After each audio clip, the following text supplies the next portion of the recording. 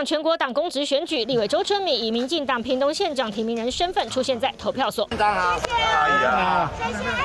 受到热烈欢迎，周春米是大方寒暄。屏东的全国党代表二十八人争取十九席，竞争激烈，更传出了县长潘孟安和前总统府秘书长苏家全有意争取中常委。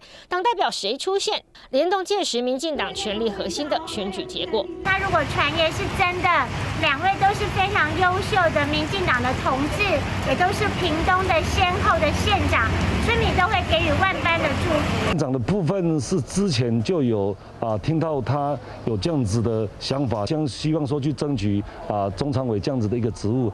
这次的民进党党公职选举，攸关着七月的中执委及中常委选举。在县长初选打出漂亮一仗的潘孟安交棒之后，年底的出路充满了想象空间。而过去共同角逐中执委的苏振清、苏家全家族，地方也盛传这一次的选举不会缺席。大家都尽力在地方动员啊，我们的啊党员啊踊跃出来投票哈。我我没有得到这个消息，那就。先五冠一身轻吧，先休息嘛。